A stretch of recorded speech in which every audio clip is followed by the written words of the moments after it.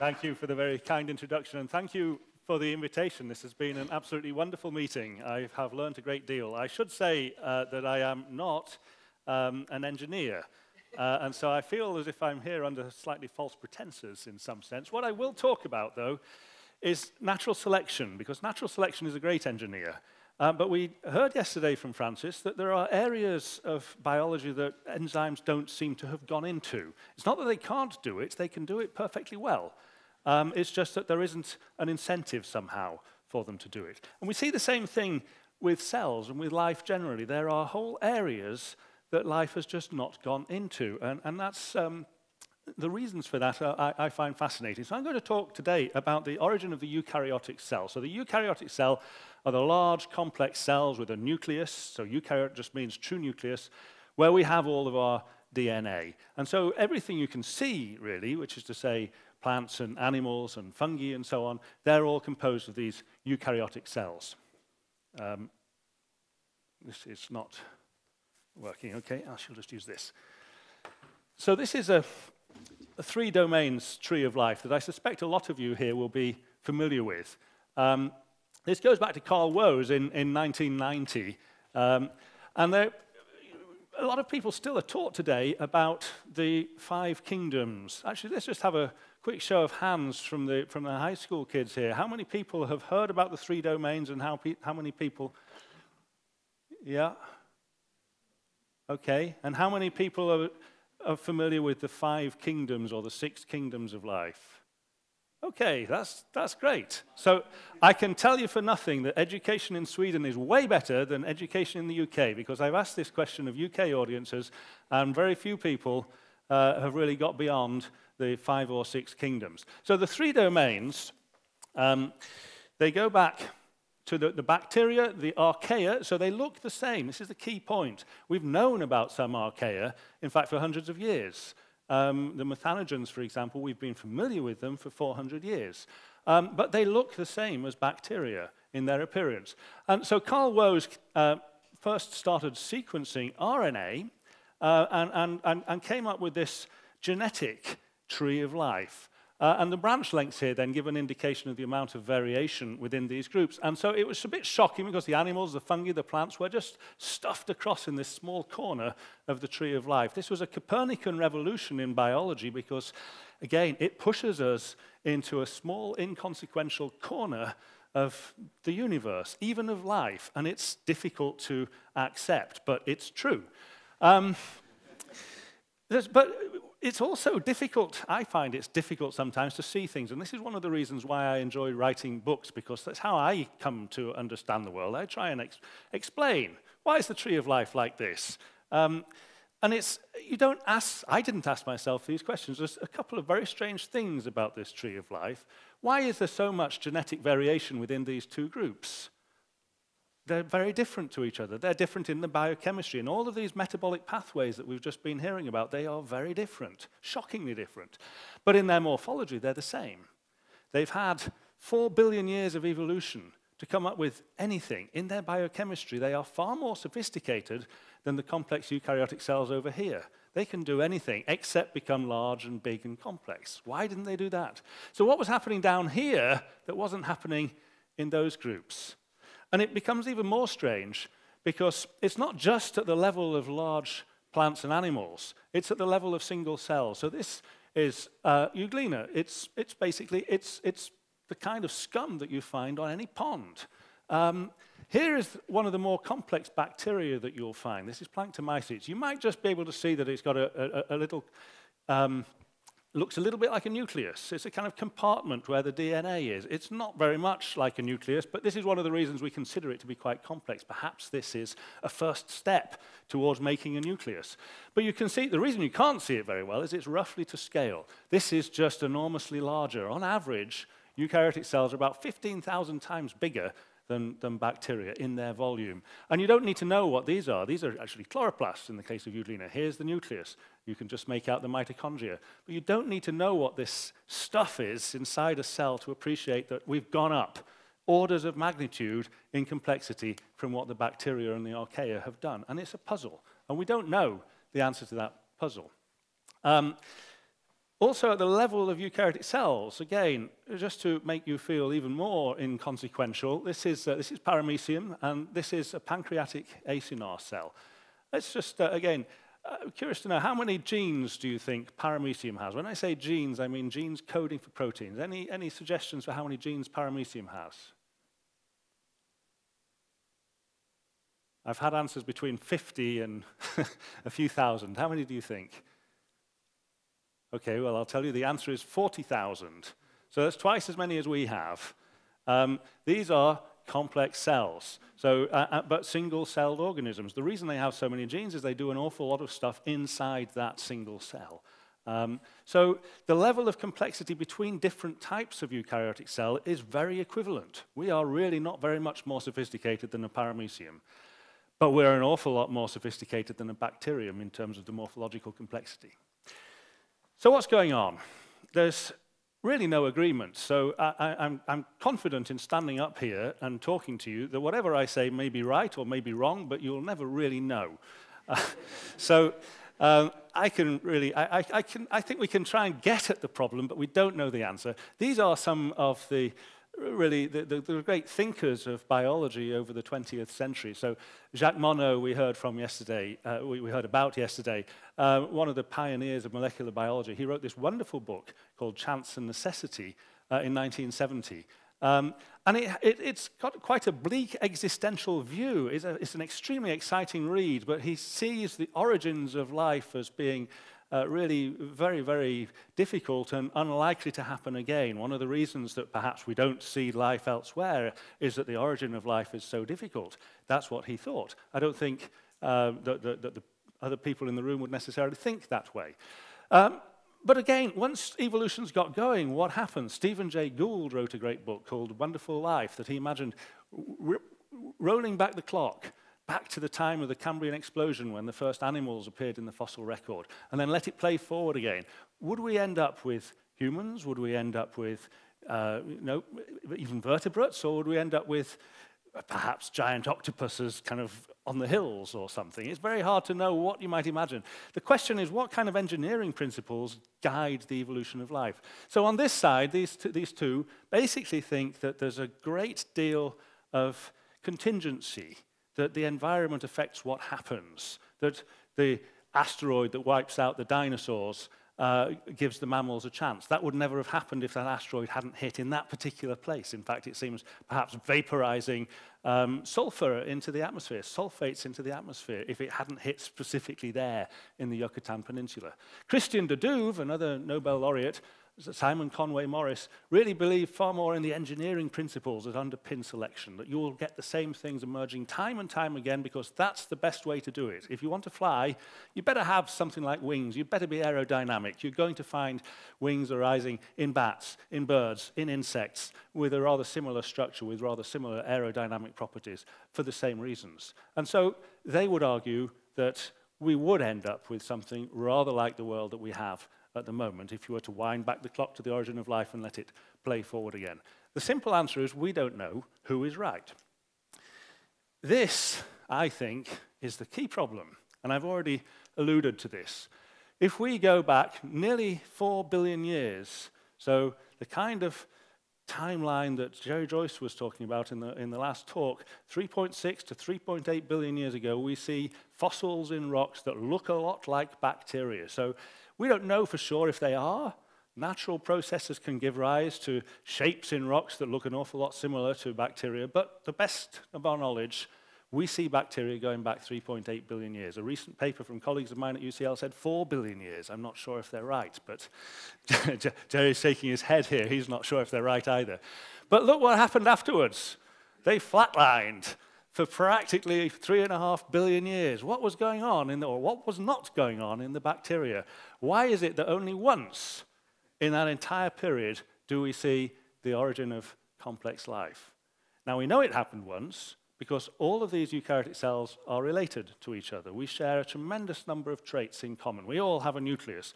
We all have straight chromosomes. We all have genes in pieces with non-coding introns and then bits that code for proteins. We all have the same structures inside cells. We all have mitochondria, and I'll say more about that. So we know that we all share a common ancestor, and by definition that arose once. But if we look in the fossil record to see things that were not eukaryotic, other origins, alternative origins of complex life, we don't see it there. We look around the world, we trawl through all kinds of muds in, in strange environments, and we look to see alternative forms of life, and we don't really find it. We find new archaea, we find new bacteria, we find amazing things, but we're not really finding different structures to cells. It's what I like to think. This is uh, one of the great evolutionary biologists, and he was at UCL for a, a, period, John Maynard Smith, and he used to look for what he called the scandals in evolution, the things that really ought not to be happening like that. They should have done something different. Why, why did it go this way rather than that way? And this is an evolutionary scandal on, on, on his kind of terms. So all complex life is composed of eukaryotic cells. They only arose once, and we all share these, not just the physical structure of the cells, but we're all sexual. Plants are sexual, but you know, yeast is sexual too. It, it's right across the entire tree of, of eukaryotes.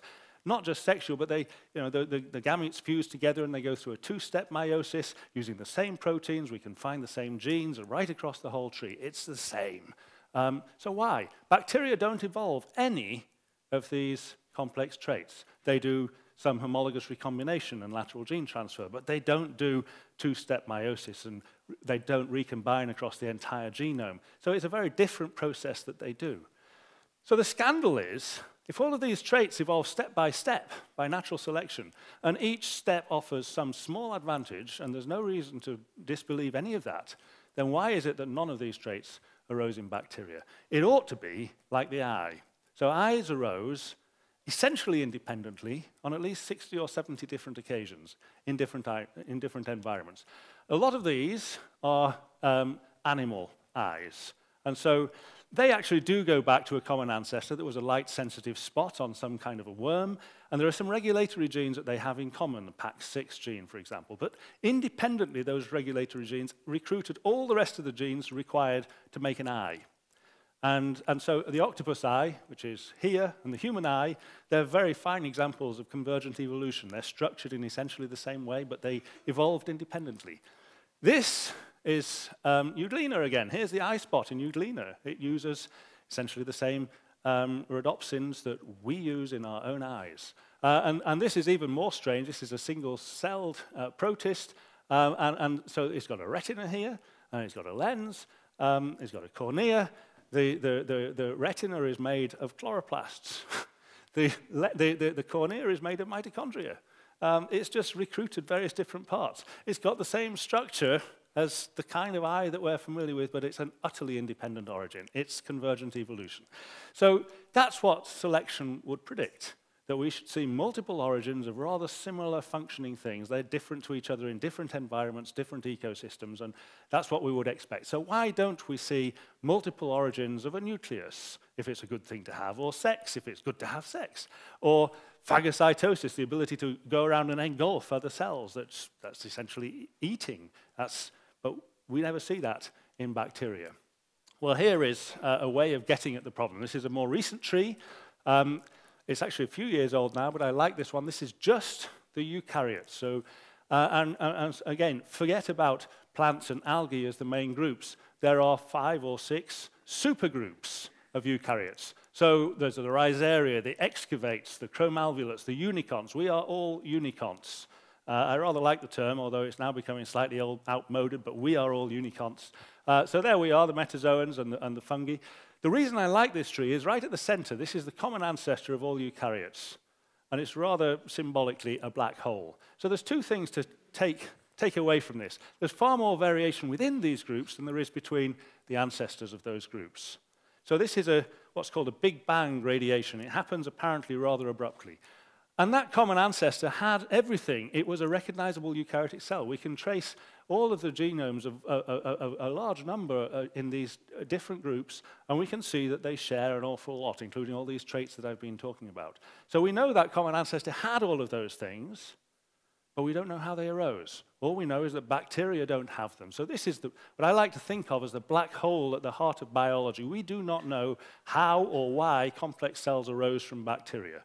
So I will put some ideas forward. We, I mean, uh, these are not by any means the only ideas, but uh, we, don't, we don't have facts to prove it yet. It looks like some kind of a bottleneck. It looks as if perhaps the conditions changed, and the reason that eukaryotes suddenly took over the world is perhaps there'd been a snowball Earth. We know there was a snowball Earth about 3. Uh, 2.3 billion years ago, and another one around 700 million years ago. This is when the entire planet froze over, we think, the geologists tell us, right down to sea level on the equator. So, you know, catastrophic global changes are undoubtedly bottlenecks that could affect uh, tremendously the whole trajectory of life. Um, this is another one, the great oxidation event, when we first start to see oxygen in the atmosphere, again from about 2.2, 2.3 billion years ago, probably linked, in fact, with that earlier snowball Earth. So these are global catastrophes that it's very easy to imagine that after this catastrophe, just like the mammals expanded after the dinosaurs, the eukaryotic cells expanded. Um, but that makes some predictions. And, and people have been a little sloppy in the way that we've thought about these predictions, I think. What you might imagine, if it was oxygen, for example, suddenly allowing the freedom to become bigger and more complex, because now there's oxygen that we can respire and that plants respire and so on. You would expect multiple origins, nonetheless. You would expect that the, the, the cyanobacteria, the photosynthetic bacteria, would give rise to photosynthetic plants and algae. You would expect that, that osmotrophic bacteria would give rise to the fungi, so putting enzymes out into the surrounding area, breaking down the food, and then taking up the, the, the, the, the monomers. You would expect separate origins from the ones which are best pre-adapted to the new conditions, but that's not what we see. The, the serial endosymbiosis theory from, from Lynn Margulis, again, she anticipated um, that there would be multiple different types of endosymbiosis, different types of bacteria interacting with each other, and essentially multiple different origins of complex life. But that's not what we see. What we seem to see is something more like this. Uh, and I shall say more about this. It looks like not an environmental bottleneck, but actually a structural bottleneck, something to do with the structure of cells. And, and one cell got inside another one, and then this is the black hole area where everything evolved, and then this is the moment where, where everything takes off into the modern groups that we see. This is the acquisition of the chloroplasts here, so uh, the cyanobacteria that gave rise to the algae. They didn't change the fundamental uh, direction of evolution. Um, but here is what I shall talk about for the remainder of the talk. So the one thing which has really changed over the last 20 years, and again, this is grounded in medical research because most of these, in fact, are parasites of one sort or another, it was thought that, well, none of them have mitochondria, and, they all looked rather morphologically primitive. The assumption was that um, these were early branching eukaryotes that would give us an indication of how complex life arose. Well, it turns out, after a lot of studying, that they all do have mitochondria, just not as we know them. They've become what are called relict organelles, or they've even lost them altogether in the case of monocercomonoides, but they all had them once, and they became specialized for different tasks. Um, so we now know that that common ancestor already had mitochondria. And when we start looking at the, the genomes, then we can see that, um, that, that potentially the origin of eukaryotes and the acquisition of mitochondria were one and the same thing. So the mitochondria, in case you don't know, they are the powerhouses of eukaryotic cells. So these are our own mitochondria here. Um, and what's going on, this was uh, discovered back in 1961 by Peter Mitchell, uh, who called it chemiosmotic coupling.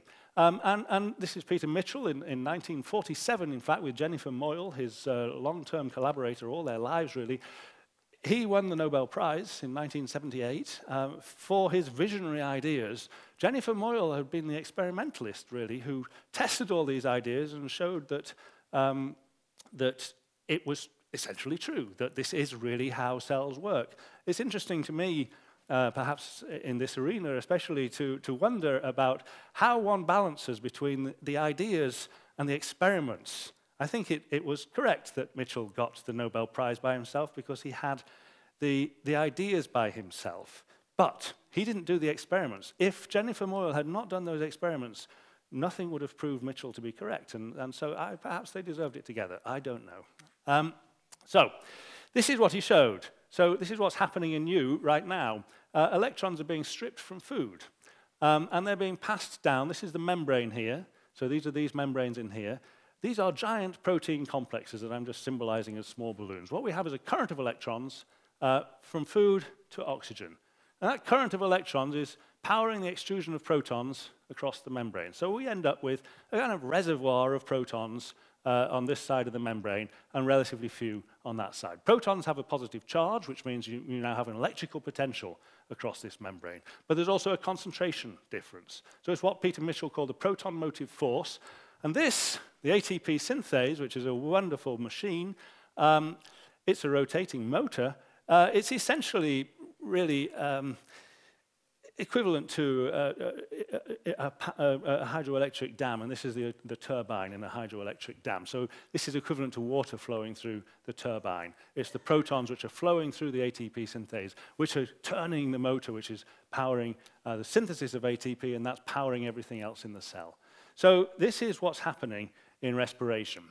Now, the mitochondria were bacteria once. We're pretty certain about that. In fact, there's not really any serious opposition to that idea anymore. That goes back to Lynn Margulis. In fact, it goes back much before Lynn Margulis, but she was the person who nailed the idea in 1967, 50 years ago uh, this year. There's a celebratory issue uh, of the Journal of Theoretical Biology where she published that original paper coming out shortly.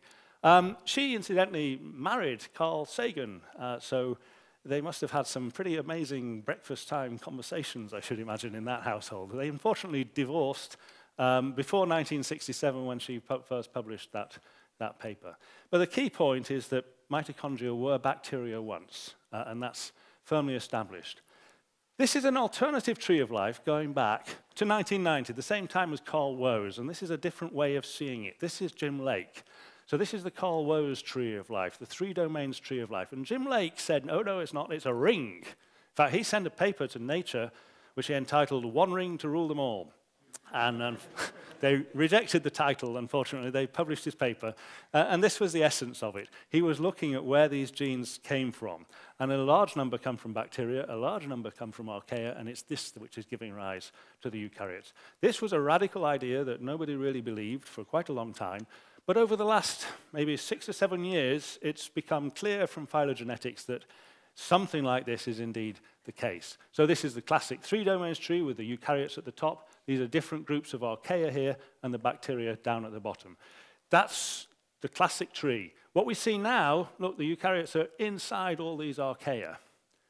This is from concatenated sequences of 40 to 60 genes the, the, more genes you have, the bigger the signal, and the, uh, so the, the, stronger the signal. The trouble is, the more genes you have, the more likely to be passed around by lateral gene transfer they have, and that produces noise, which clouds the signal. So it's a difficult balance to find, uh, but this has been repeatedly found in, in, a lot of studies now. That means the host cell was an archaeon. Uh, we don't know what kind of archaeon, but we're getting closer. This was a paper from earlier this year and, and, and some earlier work from a couple of years ago um, this is the Asgard superphylum. So the Loki Archaeota were discovered at Loki's castle a couple of years ago. We don't know what they look like. This is just metagenomic screening of the muds around there, uh, and these are the most similar genomes to the eukaryotes. Here are the eukaryotes branching. There's now several groups. So we have the Loki Archaeota, but also the Odin Archaeota, the Thor Archaeota, the Heimdall Archaeota. We've got all these Norwegian gods down there now. Um, Norse gods, or maybe they're Swedish gods, I suppose they're just Nordic gods, I should say here. Um, so we don't know what any of these look like. We only have the genome sequences, and they're all relatively small. They're all 4,000, 5,000 genes or so, so they're kind of standard size for archaeal genomes. Um, and they have some interesting properties. They seem to have a, a, a pretty dynamic cytoskeleton compared to other archaea. They seem to uh, be capable of some membrane remodeling, but we haven't seen it. We don't really know, are they slightly phagocytic? Can they begin to engulf other cells? Or is it just how they divide in half, where you also need to change the membrane structures?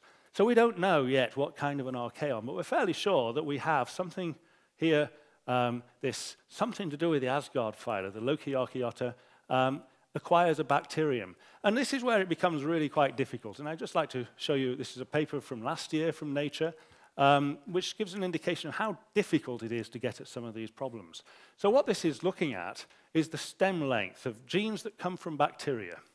So there's a lot of genes that come from bacteria. Some of them branch with the alpha proteobacteria. They, these are definitely the mitochondrial genes. So here are the genes that are definitely with the mitochondria. But these genes, they, they, they, they will branch with bacteria, but not clearly with any particular group.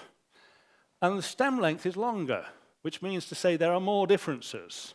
So what they interpreted this as was, um, so this structure this is the nucleus, these are bacterial genes that you find in the nucleus are more distantly related. Um, these are the endomembrane systems, these are the mitochondria. So what they said from this is that the number of differences represent time, roughly, and that's a general agreed with any um, with, with any kind of molecular clock, there's an assumption that the number of differences accumulating over time gives an indication of the time that passed. And if that's the case, then the nucleolus, the nucleus, the endomembrane systems all arose before the acquisition of mitochondria. And if this is correct, then everything I'm going to tell you in the rest of the talk is incorrect. Uh, and so this is the kind of things that trouble you uh, when you're trying to sleep at night. Are they right? Have I been wasting my time for the last 10 years? Well, they may be correct. I don't know. They may also be wrong. The question is, do I have an answer to why they would see that? I assume their data is correct. Um, so do I have an answer? Well, yes, I do. And I don't know if my answer is correct, but it, it helps me to sleep. So this, is, this is an old tree going back now to 1998. Uh, there's the bacteria, the archaea, and these groups, these are the cells that I showed you before, the archezoa. These are cells that don't have mitochondria. We thought that they were early branching. Why? Well, they, they're simple, simple in their morphology, but also they have these long, long branch lengths. And that means that they, they branch on a tree because of, a, of an artifact known as long branch attraction. They're shown to branch here, and here was the acquisition of mitochondria. Actually, they're up here somewhere. So the, the length of these branches does not give an indication of the amount of time. It gives you an indication of the amount of evolution that has happened, the number of changes. And we can't constrain the time necessarily with that. So these, this is an artifact, and everybody's agreed about that now. And so I think this is probably the best way to think about that other study. As, as I in, insist, I may not be right at all. Whoops. This is, uh, this is a painting by Odra Noel, a beautiful painting of a eukaryotic cell. Uh, and so here's the nucleus, here are the mitochondria, here are these endomembrane systems that I was talking about. Why would you have more evolution in the endomembranes or the nucleus? Well, the genes in the mitochondria are doing what they always did. They're doing respiration in a mitochondrial setting. They are under strong purifying selection for the same job in the same setting that they always did. It never changed. And purifying selection means that you have fewer changes in sequence because changes get eliminated because they're not helpful to you. Um, but the endomembrane, well, they don't exist in bacteria, really. In the nucleus, it doesn't exist in bacteria. So there must have been, theoretically, there must have been a period of strong adaptive selection. And adaptive selection, by its nature, is forcing changes on you. You're changing to a new purpose, a new function. Uh, and so you're going to have lots of changes. And that's going to increase the branch length. So this is how I can sleep. I think it can be interpreted in that way, if I may be right, maybe wrong. If I'm right, what does it, what does it say? Well, this is the origin of the eukaryotic cell, if this is the case. These are bacteria living inside a bacterial cell. And this is the only example that we know of of bacteria inside a bacterial cell. There's plenty of bacteria inside eukaryotic cells, which are large and complex and then engulf cells like bacteria for a living. But bacteria don't do that. This is a cyanobacteria. These are the thylakoid membranes. It has a cell wall. It did not engulf those cells. We don't know how they got there. But what good is it? If those cells inside went on to become the mitochondria, then the question really is why was the acquisition of mitochondria any use? And, in, uh, uh, uh, and, it seems reasonable that we should look for the answer in terms of energy in one way or another. What they, they are the power packs, they produce the ATP, so that's where we should look for an answer. But if we look, this is a values taken from the literature, this is the metabolic rate of bacteria compared to single-celled protists. This is a log scale in each case, so bacteria respire about three times faster than single-celled eukaryotes. So it's not just a case of uh, they help us to respire faster. It's not as simple as that. But that's per gram. If we look per cell, it changes around. So this is, again, it's a log scale. So eukaryotic cells consume about 5,000 times more oxygen per minute than a single bacterial cell. Why? Because they're 15,000 times larger. Of course they do. They're juggernauts. So it's a silly comparison in one sense but it's beginning to get at the, at the problem. What are they spending it all on? Well, this is per megabase of DNA, and you can see it's roughly similar again in this case. So eukaryotic cells have become a lot larger, they have a lot more uh, energy, in effect, and they're spending it on maintaining a much larger genome. But they're not really spending any more per megabase of DNA than, than a bacterium does. What are they actually spending it on? Well, this is uh, some, some old work. Um, this is not the kind of thing that many people think about anymore, but Frank Harold did some lovely work in the 1970s on, uh, and, and um, what, are, what is the ATP budget of bacteria or, or yeast or something? Um, and the answer is, to a large degree, protein synthesis. That's not true of us. That's not true of multicellular organisms generally. Um, but it seems to be true of, uh, of, of, many, of many protists and of bacteria that 75 to 80% of the energy budget of a cell goes on protein synthesis. Here's DNA synthesis. It's a trivial cost in comparison. There can be lots of futile cycling going on in an environment, but this is in growing cells, and when they're growing, the biggest costs are to do with, with protein synthesis. So if we then look at the energy availability per protein coding gene, and we equalize uh, for uh, bacteria and for eukaryotes in the, in the number of genes, then we find, again, a roughly 5,000-fold difference. So eukaryotes have about 5,000 times more energy per gene than a single bacterial cell. That does not mean that they should have 5,000 more genes. It means that they can do 5,000 times as much gene expression. They can make 5,000 times as many proteins. And because they're 15,000 times larger, of course, they have to. So it's a statement of the obvious, really. So we need to correct for cell volume as well. If we correct for cell volume, then we get this massive silly difference. This opens up to a 200,000-fold difference in energy per gene when we've corrected for the gene number and cell volume. Now, I say it's silly because we've made a silly assumption underpinning it, but it's interesting to get at why it's a silly assumption. So bacteria, they're pumping protons in exactly the same way that our mitochondria do. They're pumping them across the plasma membrane. And if you increase the, the, the volume of the cell, then of course you have surface area to volume constraints. The ATP synthesis depends on the surface area, the protein synthesis depends on the volume. Uh, and so that's where that number of 200,000 came from, and it's a silly number, because we know that bacteria can internalize membranes and get around that problem immediately. So why don't they actually do that, or do they do that? Well, to an extent, they do. And this is, uh, this is a, another paper which causes me uh, trouble sleeping at night. This is from Mike Lynch. Um, and what he's got here is this is the, the ATP synthesis uh, complex. This is a number of ATPase enzymes uh, against the surface area. And you see a nice straight line, bacteria down here, eukaryotes up there. So it basically correlates beautifully with surface area. It's what you would expect. You have more surface area, you have more energy, more ATPase enzymes. And this is the number of ribosomes in a cell. Um, against the cell volume. Again, the bigger the cell, the more ribosomes. He would say that these are just two continua and really you know, there's nothing special about eukaryotes. But what's concealed here in these log scales is that all the bacteria are down here in each case. We've got one, one eukaryote there, but by and large, all the eukaryotes are up here, all the bacteria down there, and there's a couple of orders of magnitude difference between the largest bacteria and the smallest archaea. There's overlap. But I would say these are two different continua, and there's something else which is stopping bacteria from expanding its surface area across eukaryotic proportions.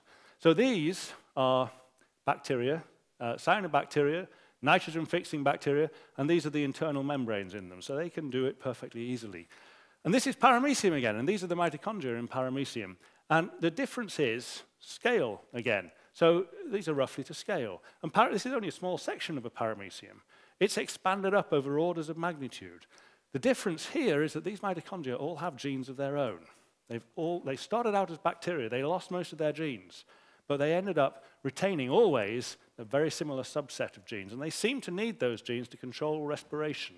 And so here we're beginning to converge on engineering principles in one sense. You need genes to control respiration. If you want to get bigger, um, then you just have more mitochondria. But each one comes with its own regulatory system in, in, in, these, in these genes. So if they want to expand up to a eukaryotic size, well, perhaps they can't. Well, it's easily tested because there are some giant bacteria around. So this is E. coli here. Here's paramecium. So paramecium is dwarfed by this battleship of a cell. This is Epulopiscium. It's a bacterial cell, and you can see it with a naked eye. This is even larger. This is Thiomargarita. Uh, it's basically a giant vacuole um, with a thin film of cytoplasm surrounding it. But This is a single bacterial cell, and this is Drosophila, the fruit fly. So it's almost as big as the head of Drosophila. So this really is a monstrous cell. So if you need genes to control respiration, and this, and this, this cell is respiring across this plasma membrane, then there better be a lot of genes there, otherwise these ideas are just wrong. Well, this is known as extreme polyploidy.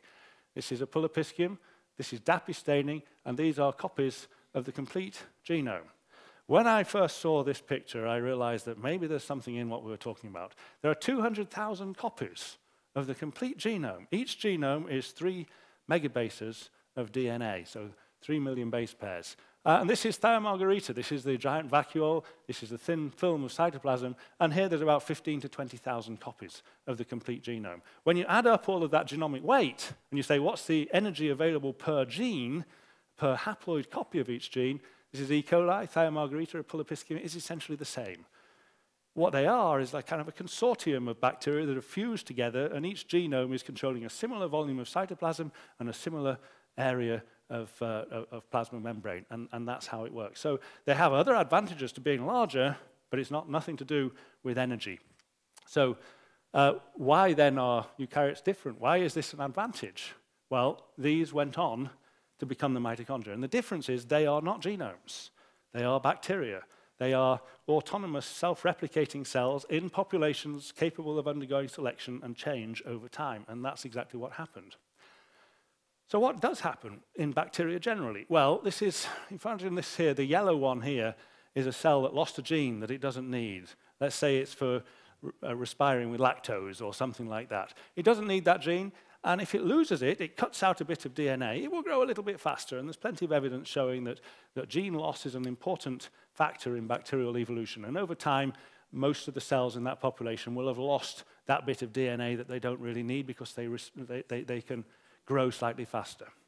But then the conditions change. Suddenly everything's swamped with lactose again, and, uh, and they need it again. So what do they do? Well, they pick up random bits of DNA from the environment, and, and one of them happens to contain that gene, and before you know it, you're back where you started. And so we have kind of dual selection pressures. One is to lose as many genes as you can afford to lose, and the other is to pick them up whenever you need them uh, by lateral gene transfer. But here, imagine the same thing happening inside a cell and let's say this cell loses the genes required for making a cell wall, and you don't need a cell wall if you're living inside another cell. You're in a, in a fairly fixed homeostatic environment. So it takes over, and all the cells in that population lose that gene. Perhaps the genes for a bacterial flagellum and so on as well. You don't need those genes anymore, so you lose them, and the conditions never change. If, so long as the host cell survives, the conditions don't change, and you do fine. And this is a trajectory which is really common in bacteria. So this is typhus, which is a, a nice example. Typhus obliterated the, uh, the Napoleonic armies. This is the retreat of Napoleon from Moscow. Um, and it, it's, it's an intracellular bacterium. This is rickettsia, which is the cause of typhus. So it's transmitted uh, by, the, by the flea. Um, and it's lost most of its genes. It's down around about one megabase of DNA, so about a quarter of the size of E. coli or something. And that's really common. This is the range of genome sizes of free living bacteria, and now it goes up to about 12 or 13 megabases.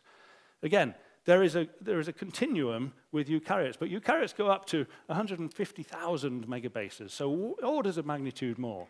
And the obligate symbionts and endosymbionts are down here, one megabase or less. And we know hundreds of examples of bacterial cells living inside eukaryotes, and all of them have undergone this genomic streamlining. So why is that useful? Well, it's useful because the bacteria still make as much ATP as they ever did. It's just that their overhead costs are being constantly uh, lowered. So if you imagine that you've got 100 endosymbionts. This is a silly thought experiment, but it gives, a, it gives an indication of the size of the advantage. So imagine you've got 100 endosymbionts, 100 bacteria living inside this cell. Each of them have a standard bacterial-sized genome of 4 megabases, so about 4,000 genes. And let's assume that they lose 200 of these genes that they don't need. So what are the energy savings of not making those proteins? Well, very roughly, 200 proteins from 100 endosymbionts. Each gene would normally produce in bacteria about 2,000 copies of the protein that it's making. Um, and on average, in bacteria, there's about 250 amino acids in a single protein. And the ATP costs are around about 5 ATPs per peptide bond to put two amino acids together. So we have a total of, of 50 billion ATP costs to make those proteins or cost savings if we don't make those proteins. So if you put that into a 24-hour life cycle, so I'm being very conservative here by the numbers that people have been talking about earlier on, that would be 580,000 ATPs per second energy savings. What could you spend it on? Well, imagine a dynamic cytoskeleton, an actin cytoskeleton, which is one of the things that sets eukaryotes apart. What are the costs of that? Well, a monomer, so uh, uh, actin is made, is, is made a, a, series of globular proteins which are joined together into a filament. And there's two filaments which are wrapped around each other. So the length of the monomer, the single protein, is 29 nanometers, which means there's 35 of them in a micrometer. There's 374 amino acids in each of these proteins. It's a dimer, as I said, 5 ATPs per peptide bond. So you could make 131,000, sorry, uh, uh it costs 131,000 ATPs to make one micrometer of actin, roughly, which means you could make four per second for those energy savings. And so you see that just gene loss in eukaryotes uh, from the endosymbionts produces so much superfluous energy that eukaryotes are effectively just swamped in ATP, and it makes all the difference in the world in terms of what they can do. And this, again, shows that difference. We've already seen this. This is, uh, this is now measured numbers. This is not theoretical scaling on a sphere. This is the known metabolic rate, the measured metabolic rate, the known genome size, the known polyploidy, um, and, and, this is, again, it's a log scale, so this is three or four orders of magnitude difference for Euglena and for a large amoeba, amoeba proteus. We have far more energy availability per gene than, than bacteria do. And again, this is the, there's an overlap. The bacteria and the archaea, this is the genome size down here, a log scale again. We're up here near the top, mammals. There's, anything goes. We can support a genome as large as we want to through this method, but bacteria and archaea never really get above here. So three or four orders of magnitude difference again. It comes out exactly the same in that sense. So just to finish then, this is really um, I would say the defining signature of eukaryotes, and something that we have to wrestle with when we're thinking about treating diseases and so on as well, is that bacteria have a kind of genomic symmetry. Each cell has a similarly sized genome controlling a similar volume of cytoplasm and a similar area of cell membrane. And so if you were to take a random walk through a population of E. coli, you would find uh, a, a kind of each cell has its similar sized genome. You'd find the same thing if you walked through the cytoplasm of Thiomargarita. You'd keep finding similarly sized genomes controlling similar volumes of, uh, of, of, of, cytoplasm. But if you were to do that through a population of Euglena, you'd find a massive, massive nuclear genome uh, supported energetically by these tiny mitochondrial genomes. And so we have a genomic asymmetry. We don't have really a single human genome. There are two human genomes, and the mitochondrial genome I won't say it's as important, but the interactions between the two genomes are tremendously important to human health. So this is the final slide. Why did complex life only arose, arise once? Well, it's very difficult to get one cell inside another cell when we're talking about bacteria. We know of one example, possibly a couple of others, which are more equivocal. There must have been thousands of examples over evolutionary time. Um, so it's a bottleneck, but it's not a very effective bottleneck. But once it's got inside, we have effectively a simple bacterial cell with other bacterial cells living inside it. This is why we don't see any intermediates to work out those life cycles, to live together, to evolve all of this complexity in that common ancestor. I would say we need to be looking at the interactions between the host cell and the, and the, and the endosymbionts to explain a great deal of this complexity. And again, here we can get into standard population genetics and we can model some of these and we can make predictions and we can test these predictions. But I'm not going to talk about that now. I'm just going to stop now and say thank you very much and thank you to many of the speakers.